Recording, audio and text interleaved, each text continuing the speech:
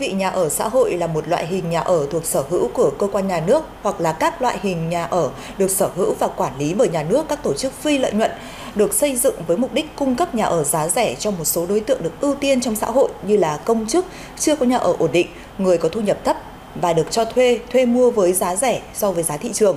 Ở nước ta người mua nhà ở xã hội sẽ được ngân hàng chính sách xã hội cho vay với lãi suất ưu đãi là 4,8% một năm.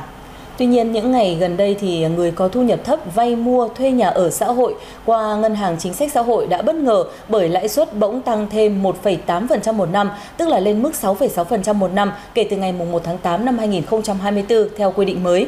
Việc lãi suất ngân hàng tăng sốc thì không chỉ khiến cho nhiều người vay mua nhà ở xã hội lo lắng mà còn khiến cho cả các chủ đầu tư các dự án vô cùng hoang mang. Theo đó, để phù hợp với Nghị định số 100 năm 2024, các khoản vay đã ký hợp đồng tín dụng với Ngân hàng Chính sách Xã hội để mua, thuê mua nhà ở xã hội, xây dựng mới hoặc cải tạo, sửa chữa nhà để ở trước ngày 1 tháng 8 thì áp dụng mức lãi suất cho vay bằng lãi suất cho vay hộ nghèo do Thủ tướng quy định trong từng thời kỳ. Hiện nay, mức lãi suất này là 6,6% một năm. Thông tin này khiến nhiều người bất ngờ khi lãi suất tăng quá đột ngột. Trong khi nhiều bộ ngành tìm cách giảm lãi suất để phát triển nhà ở xã hội, thì ngân hàng chính sách lại tăng với mức tăng đến 38%, kỳ quá. Đang làm hồ sơ vay để chuẩn bị mua chung cư nhà ở xã hội Cần Thơ thì thấy lãi tăng 6,6% mà còn thấy câu theo từng thời kỳ nữa. Thôi, khỏi mua luôn. Lãi suất tăng quá cao, gây sốc cho người vay. Khó khăn lắm họ mới mua được nhà ở xã hội để có chỗ để ở, giờ phải đối diện với lãi suất tăng cao. Đúng là giờ cười, giờ khóc. Không chỉ những người có ý định vay mua, thuê mua nhà ở xã hội cảm thấy lo lắng mà quy định tăng lãi suất lên thêm 1,8% một năm còn áp dụng ngay với những người đang có khoản vay phải trả lãi hàng tháng trước ngày 1 tháng 8. Việc không có khoảng trễ và áp dụng ngay một quy định mới khiến nhiều người bất ngờ và khó khăn trong việc cân đối chi tiêu để có nguồn tiền trả lãi hàng tháng. Lãi nhà ở xã hội tăng cao quá, Nhận thông báo từ ngân hàng mà hoang mang thời gian sắp tới phải xoay sở chi tiêu thế nào đây? Chính phủ nên xem xét lại quyết định này. Tăng quá đột ngột, dân thu nhập thấp chúng tôi rất áp lực.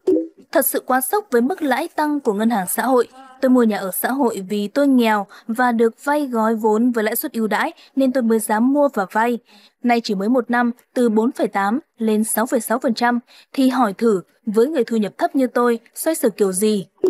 Với lãi suất 4,8%, gia đình tôi phải chất chiêu mới có thể đóng được lãi hàng tháng, giờ còn tăng lên 1,8% thành 6,6% cũng đồng nghĩa là gia đình tôi phải xoay sở thêm tiền lãi gần 20 triệu đồng một năm mới đủ.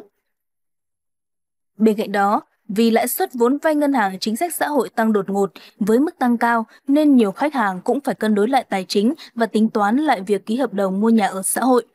Điều này ít nhiều ảnh hưởng đến kế hoạch đầu tư và bán các căn hộ chung cư. Đông đảo người dân bày tỏ xem xét tiếp tục giữ nguyên mức lãi vay 4,8% một năm với khoản vay mua nhà ở xã hội tại Ngân hàng Chính sách Xã hội để giúp tạo sự ổn định, nhất là trong lúc người mua nhà cũng còn đang gặp nhiều khó khăn.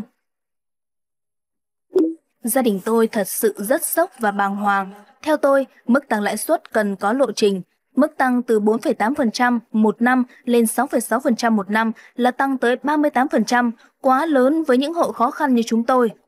Vì mua nhà ở xã hội là dài hạn, lên đến 25 năm nên không thể áp dụng lãi suất cho người nghèo được, cần sự ổn định và lâu dài. Nếu tăng lãi suất cao như vậy sẽ dẫn tới tâm lý lo lắng đối với người đã vay và lo ngại đối với những người dự định vay. Chính sách nhà nước muốn xây càng nhiều nhà ở xã hội mà lãi suất tăng vậy thì dân lao động sao mà mua được nhà? Mong chính phủ xem xét giữ nguyên lãi suất 4,8% một năm nhằm mục tiêu an sinh xã hội. Nhiều chuyên gia về tài chính cũng cho rằng mục tiêu xây dựng 1 triệu căn nhà ở xã hội đến năm 2030 trên phạm vi cả nước có đạt được hay không phụ thuộc vào nhiều chính sách hỗ trợ từ chính phủ, trong đó có chính sách tín dụng. Vì vậy, Mức tăng lãi suất cần có lộ trình để tránh gây sốc cho người vay. Mức tăng từ 4,8% một năm lên 6,6% một năm là tăng tới 38%. Đặc biệt, việc tăng lãi suất trước mắt chỉ nên áp dụng cho các khoản vay mới, chưa giải ngân. Còn bạn, quan điểm của bạn về vấn đề này như thế nào? Hãy chia sẻ với chúng tôi trên fanpage của truyền hình Công an Nhân dân.